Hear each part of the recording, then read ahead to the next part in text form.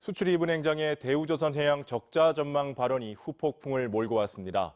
조선업은 회복 중이고 적자는 보릿고기일 뿐이라는 반박 주장도 나오고 있습니다.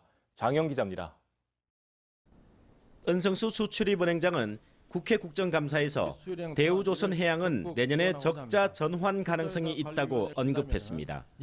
영업이익의 상당 부분이 일시적 요인에 기인하고 원자재 가격 상승, 성과 회복 지연 등의 불확실성이 해소되지 않고 있어 아직 대우조선 해양이 정상화 기반을 닦았다고 안심하기에는 어려운 상황입니다. 채권단 수장의 한마디에 대우조선 해양의 주가는 나흘 연속 하락했고 시가총액은 이틀 만에 2,680억 원이 사라졌습니다. 대우조선 해양은 2016년 2조 9,910억 원 적자에서 지난해 7,391억 원 흑자로 전환했습니다. 공적 자금 투입에다 구조 조정 등으로 올해 상반기에도 흑자 기조를 이어갔습니다.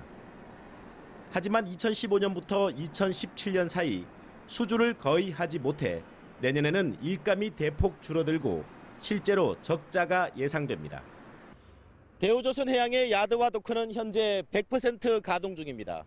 일감 절벽에 이르는 내년부터 약 1년 동안 가동률은 떨어졌다가 올해 수주한 물량을 처리해야 하는 2020년부터 가동률은 다시 오를 전망입니다. 일부 전문가들은 내년 적자는 이미 예견된 상황이었다며 잠시 지나는 보릿고개일 뿐이라고 주장합니다. 원유가의 상승이라든지 노후 선박의 대체 효과로서 수주 기대가 굉장히 그 살아나고 있다 하는 그런 분위기입니다.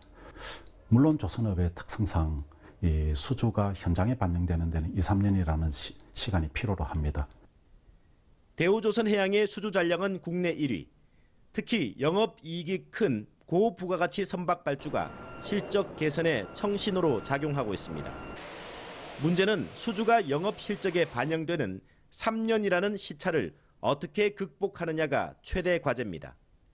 MBC 뉴스 장영입니다.